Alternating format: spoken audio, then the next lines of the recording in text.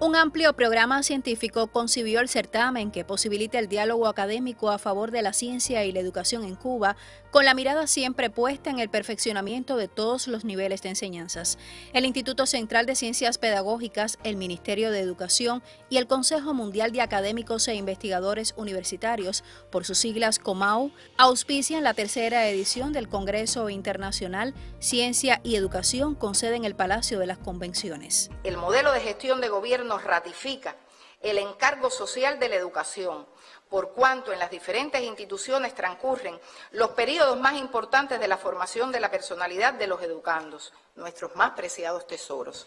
Urge entonces fortalecer nuestros recursos humanos y movilizar las influencias educativas en función de la formación integral. Tres profesionales cienfuegueros que desarrollan sus líneas investigativas de las tesis doctorales y un estudiante que cursa el cuarto año de la carrera Primera Infancia asisten al cónclave donde al unísono se realizan simposios, foros, talleres y conferencias magistrales. Los temas que aquí han socializado están dirigidos, por ejemplo, a experiencias diversas para una cultura audiovisual de niños y mediadores, el rol de las instituciones educativas en el mundo post-pandémico, salud y sexualidad en la escuela inclusiva con enfoque de género y derecho, la superación profesional y su impacto en la transformación educativa, entre otros muchos abordajes investigativos en función de mejores prácticas para el gremio.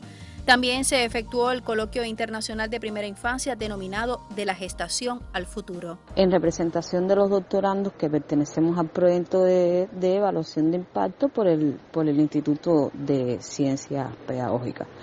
Hemos participado en conferencias, talleres, paneles, simposios, llevándonos al intercambio de saberes en la práctica educativa con temas relacionados con la inclusión educativa, el uso de la tecnología, formación académica, calidad de la educación, entre otros. La participación de Cienfuegos a esta cita académica contribuirá a la implementación de nuevas experiencias en el sector para mejorar la preparación de los claustros docentes de las diferentes educaciones. Mayelín del Sol, Notisur.